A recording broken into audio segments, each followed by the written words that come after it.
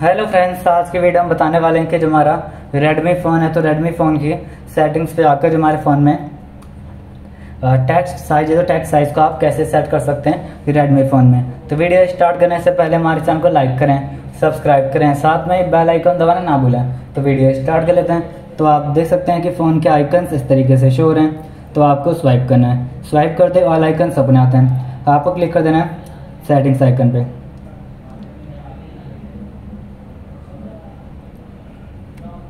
तो आपको सेटिंग्स पे क्लिक कर देना है। क्लिक करते ही फ़ोन की सेटिंग ओपन आएगी तो टेक्स्ट साइज़ को आप सेट करना चाहते हैं तो सबसे पहले आपको डिस्प्ले सेटिंग पे क्लिक करना है। तो डिस्प्ले सेटिंग ओपन आती है।